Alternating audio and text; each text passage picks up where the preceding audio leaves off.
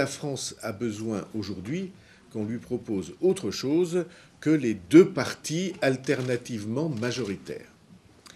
Euh, et ceci était bien entendu très important, et c'est la mission historique que le mouvement démocrate assume. Avant l'élection présidentielle 2007, on peut le dire simplement, euh, il y avait beaucoup de scepticisme sur l'idée qu'un courant du centre pourrait jouer le premier rôle dans une élection présidentielle.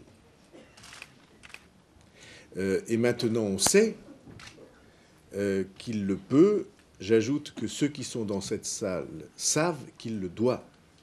J'espère avoir gagné en expérience, en tout cas, en compréhension aussi. Peut-être en, en, intimité ou en euh, relation directe avec les Français. Si vous vous présentez à l'élection présidentielle en voulant la réélection d'un autre, alors salut.